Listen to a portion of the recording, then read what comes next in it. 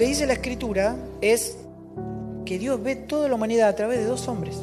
Vos si agarrás esta tumba y acá murió un asesino serial. El de al lado era un buen padre, un buen hijo, le daba de comer a los pobres, pero los dos están muertos de la misma manera. Todo lo que está en Adán, no importa lo bien que hayas hecho, a cuánta gente hayas ayudado, cuánto hayas predicado el Evangelio. No es el que dice Señor, Señor. ¿No? Si estás en Adán, estás muerto. Vamos a representarlo en los dos árboles que estaban en el Edén.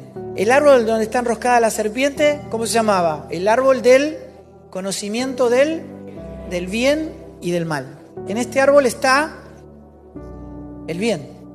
Este árbol, ¿qué árbol es? El árbol de la vida. ¿Y quién dijo yo soy la vida? Cristo. O sea que es la figura perfecta de Cristo. Cuando yo miro esto me doy cuenta que la diferencia entre los árboles no es el bien y el mal. El bien y el mal están en un mismo árbol. ¿Qué es lo que Dios ve? Lo que está vivo y lo que está muerto. O sea, ¿qué quiere decir? El mundo está lleno de gente buena y mala, pero muerta. O sea, el Evangelio no vino a hacerte una mejor persona. De ninguna manera.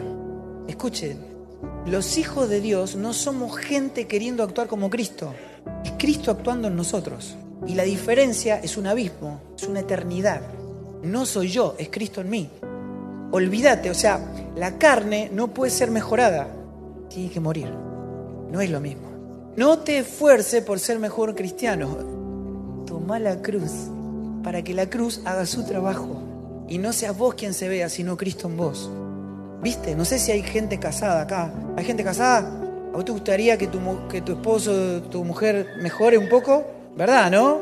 Hay algunos que lo están intentando hace como 40, 50 años, ¿no? Y la cosa camina, no camina o sigue bien lenta el asunto, ¿verdad? Mira, mira, si sirve de algo, si te sirve de algo, y para los que están de novio y los que se van a casar, que por lo menos te vaya de este lugar sabiendo que tu esposo, tu esposa no va a cambiar. Tu novio, tu hermana, tu papá, no van a cambiar. No van a cambiar no van a cambiar. Si vos vas a ver algo bueno en tu papá, en tu mamá, en tus hermanos, en la iglesia, tu esposo, tu esposa, no son ellos, es Cristo. Es Cristo en ellos. La carne no puede mostrar la vida de Dios. No puede. El abordaje no es esforzarnos para obedecer, es una cruz para que se manifieste el Cristo obediente que habita en mí.